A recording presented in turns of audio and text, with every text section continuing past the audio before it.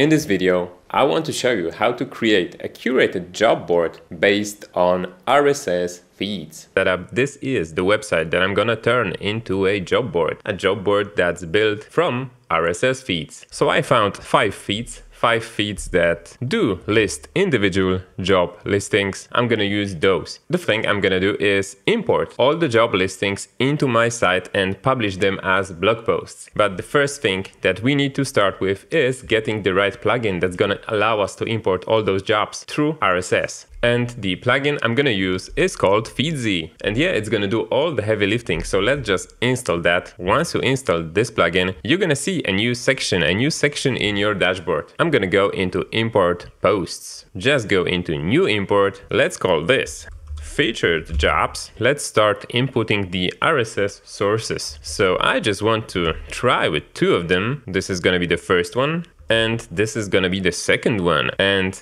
this is the fun part, so you get to set some filters in here. So let's add the first condition. Title field contains writer. Let's also change the rule to any condition is met and let's add another one and also title contains blogger and maybe title contains just content overall.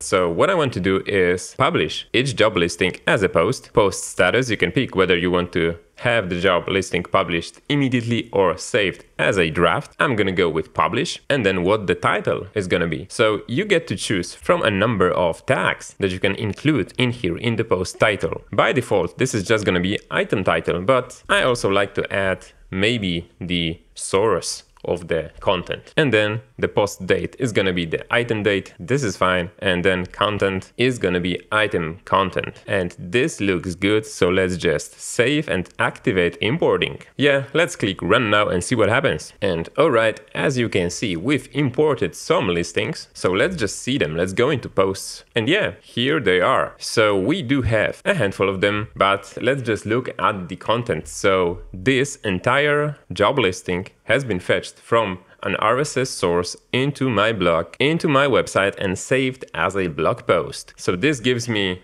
a ton of possibilities when it comes to how I want to display this and what I want to do with this next.